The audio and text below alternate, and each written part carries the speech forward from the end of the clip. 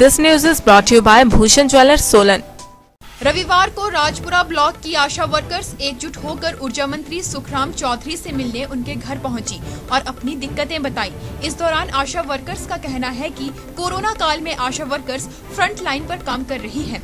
ऐसे में आशा वर्कर को के साथ खर्च भी ज़्यादा करना पड़ रहा है इससे इनकी आर्थिकी पूरी तरह से बिगड़ गई है इससे पहले आशा वर्कर्स द्वारा सुरक्षा अभियान में काम करने के लिए मना कर दिया गया था और अपनी समस्या का समाधान के लिए एसडीएम के माध्यम से सरकार को ज्ञापन भी भेजा था। अब आशा वर्कर्स रविवार को ऊर्जा मंत्री से मिली और ऊर्जा मंत्री के आश्वासन के बाद उन्होंने सोमवार से काम शुरू करने की हामी भर दी।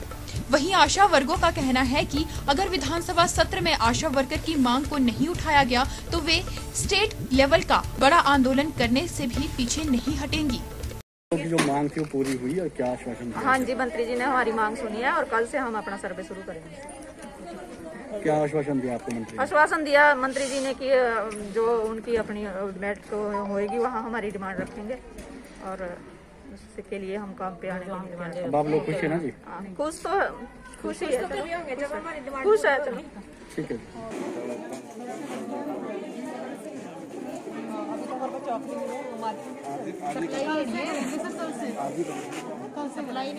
ये जहाँ तक सुविधा की बात जब अंग आशा वर्कर की अपॉइंटमेंट हुई थी हिमाचल प्रदेश में तो आठ सौ रुपया प्रति महीना मानदेय मिलता था।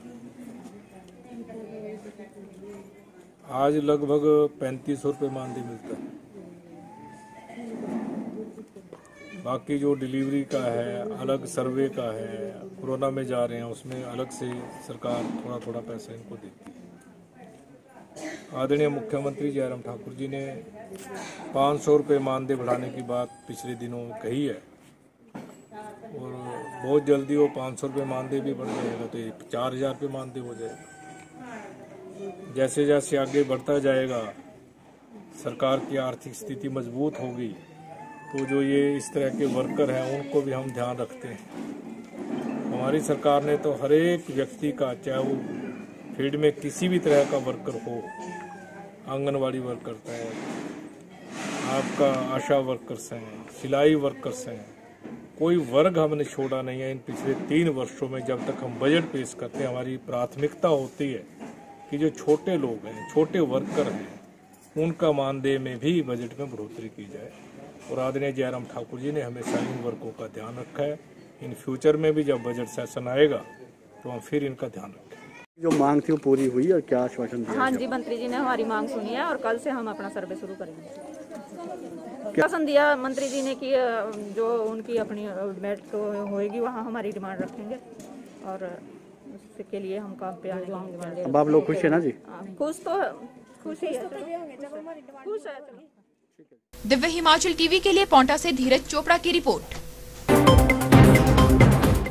पारंपरिक व आधुनिक आभूषणों को लेकर प्रदेश में ब्रांड बन चुका भूषण ज्वेलर्स सोलन अपने ग्राहकों के लिए विस्तृत रेंज उपलब्ध करवा रहा है। भूषण समूह लगातार 50 वर्षों से विभिन्न क्षेत्रों में अपनी सेवाएँ दे रहा है और मात्र पाँच वर्षों में ही आभूषणों की दुनिया में अपनी पहचान कायम कर चुका यह शोरूम अपने बेहतरीन डिज़ाइन के लिए ग्राहकों की पहली पसंद बन गया है।